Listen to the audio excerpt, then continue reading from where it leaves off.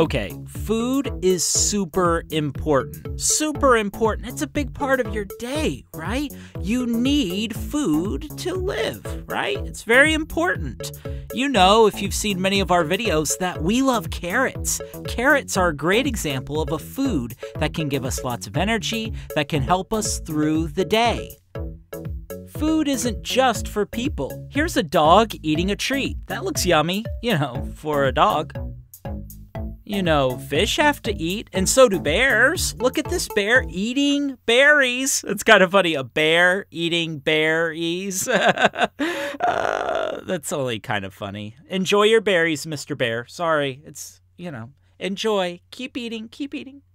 Did you know even plants like trees need food? Did you know that? Isn't that cool? In fact, all living things need food. All living things need food. But how do they get that food? Hmm, that's a good question. That's what this video is all about. To find out how living things get food, you will be learning about something called the food chain. Can you say that with us? The food chain. Yes, the food chain. Now, a food chain isn't an actual chain of food, like a long chain of carrots, okay? That's not what the food chain is, even though that would be really cool. The food chain explains how living things get the food they need. The food chain. There are different parts of the food chain. We are going to learn about the different parts of the food chain to see how living things get food. First, we are going to learn about producers. Producers make up the first part of the food chain. Producers are living things that make their own food. If a living thing creates its own food, it is a producer. We are surrounded by producers everywhere we go because every plant is a producer. Yep, every plant in the entire world is a producer. That grass, it's a producer. It makes its own food. Those trees, they are producers. They make their own food. These flowers, they are producers. They make their own food. Now, wait, how can plants make their own food? You never see a plant in the kitchen saying, Hey, I'm gonna cook something real fast. I need to make some of my own food. So, can you tell me where the pans are? No, plants make their own food through a process called photosynthesis. Wow, that's a big word. Photosynthesis. Photosynthesis is amazing. Plants use energy from the sun to make their own food. That's why plants need sunlight. So plants make their own food, but they don't cook or bake. They get energy from the sun to make their own food. Photosynthesis. You know, that's one of the reasons you'll never see plants shopping for groceries to get food. You'd have to tell the plant, hey, don't you use energy from the sun to make your own food using photosynthesis? It's nice to meet you and everything, but you need to make your own food, you know, using sunlight, water, and air. You're a producer. So, when the sun is shining on plants, just think of how the sunlight is helping the plants make their own food using photosynthesis. That is how plants are producers. They make their own food. Producers make their own food. Okay. Pull it together.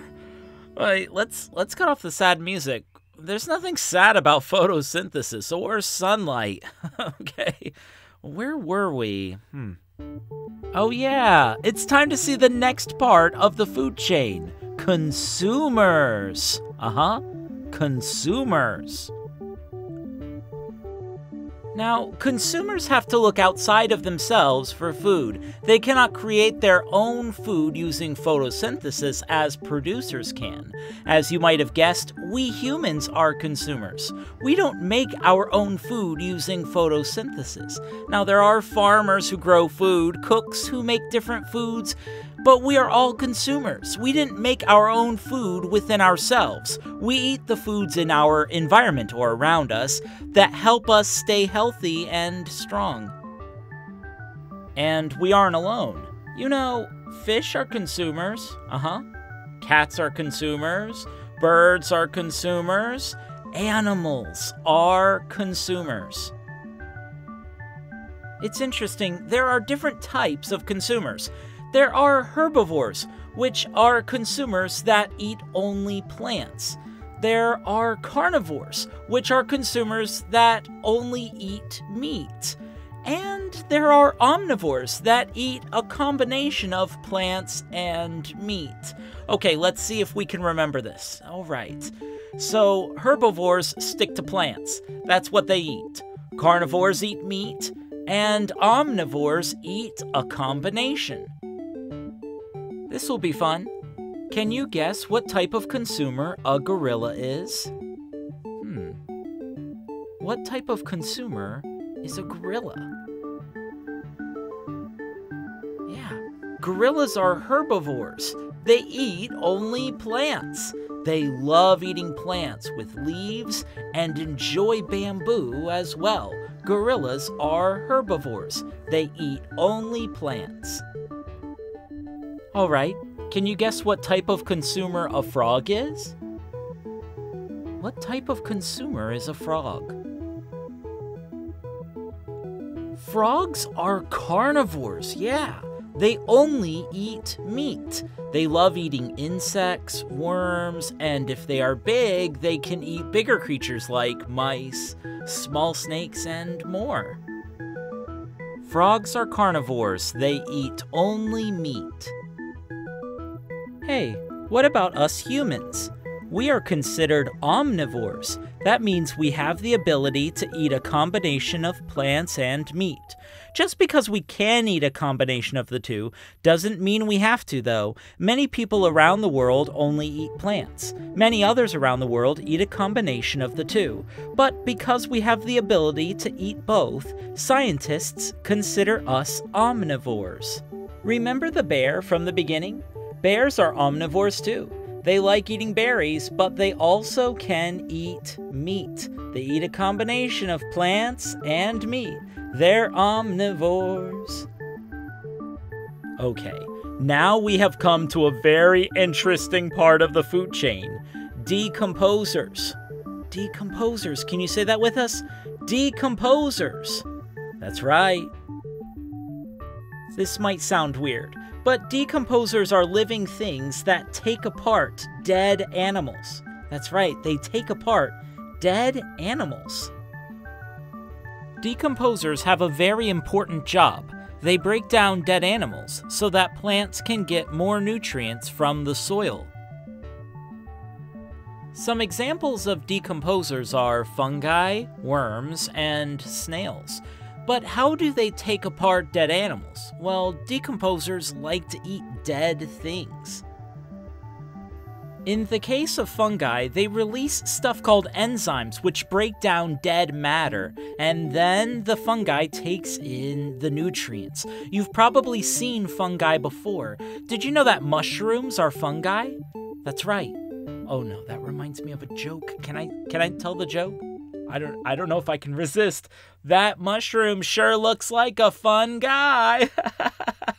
I get it because mushrooms are fungi. Feel free to share with your friends. It's comedy gold. So, decomposers break down dead animals, which helps the soil. The better soil helps the producers, which are plants. Then consumers eat the producers, other consumers, or both, depending on what type of consumer they are. Then, after the consumers die, the decomposers break them down to help the soil. And it starts all over again. It's like this chain, it's the food chain. Remember, the parts of the food chain are producers, consumers, and decomposers. All living things need food, and every living thing has its place in the food chain. Producers make their own food using photosynthesis. Consumers can't make their own food. They eat plants or meat or both, depending on what kind of consumer they are. And decomposers eat dead animals, bringing nutrients to the soil to help the producers. What a chain! The food chain. Special thanks to our patrons who make videos like this possible. If you would like to support us and get cool homeschool pop tattoos, click the link below this video or visit homeschoolpop.com. As always, you are awesome. We hope to see you next video. I still think a chain of carrots would be cool. Okay, can anyone help me down? I, I have this shopping cart. I'll share it with you. Anybody? Am I going to be stuck up here? Anybody? Hello? Hello?